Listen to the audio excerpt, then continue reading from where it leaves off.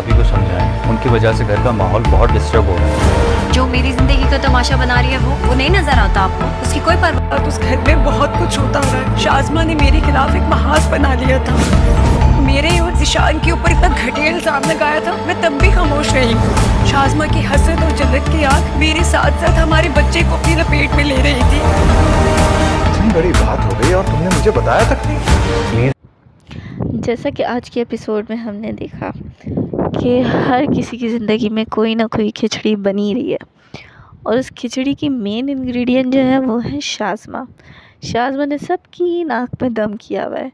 चाहे वो ख़ुद की बहन का ससुराल हो, चाहे वो ख़ुद का ससुराल हो, चाहे वो किसी और का घर हो, हर जगह शाज़मा साहिबा छाई हुई है, जो कि है एक नेगेटिव करेक्टर जो कि लोगों पे इल्ज़ाम लगाती हैं और लोगों के घर ख़राब करती है।